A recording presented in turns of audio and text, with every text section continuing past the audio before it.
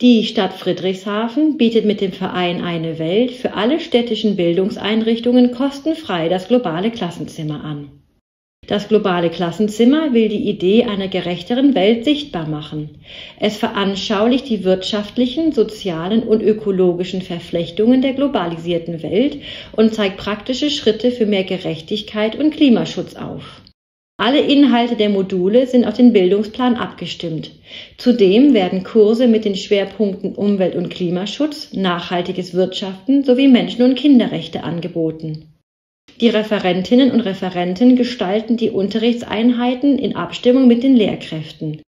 Sie geben Impulse für Projekte und stellen vorbereitende Übungsmaterialien bereit. Die Veranstaltungen finden meistens in der Schule statt und dauern in der Regel ein bis zwei Unterrichtsstunden. Wir freuen uns auf!